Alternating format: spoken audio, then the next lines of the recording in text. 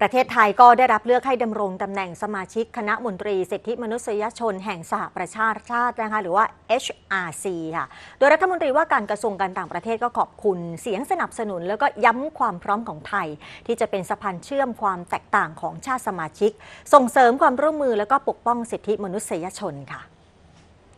โดยนายมาริสเสงี่ยมพงศ์รัฐมนตรีว่าการกระทรวงการต่างประเทศระบุถึงกรณีที่ประเทศไทยได้รับเลือกตั้งเป็นสมาชิกคณะมนตรี สิทธิมนุษยชนแห่งสหประชาชาติ หรือ HRC วาระปี 2025 ถึง 2027 ซึ่งมีการออกเสียงลงคะแนนเมื่อค่ำคืนที่ผ่านมาณนครนิวยอร์กสหรัฐอเมริกาว่า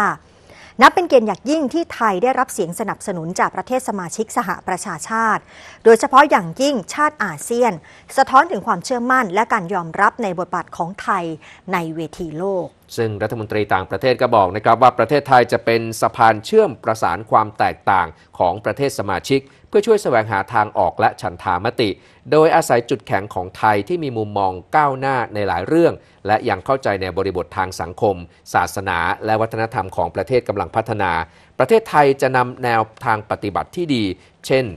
เรื่องของ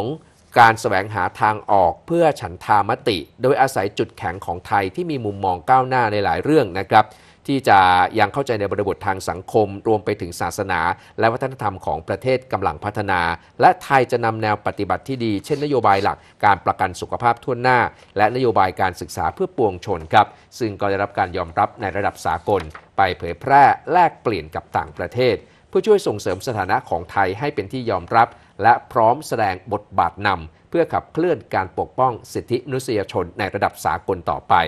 ทั้งนี้ครับ HRC นั้นมีสมาชิก 47 ประเทศจากกลุ่มภูมิภาคต่างๆ ก็ได้แก่กลุ่มแอฟริกา กลุ่มเอเชียแปซิฟิก กลุ่มยุโรปตะวันออก กลุ่มละตินอเมริกาและแคริบเบียน และกลุ่มยุโรปตะวันตก ซึ่งไทยเองยังเคยดำรงตำแหน่งประธาน HRC มาแล้ว ในช่วงระหว่างปี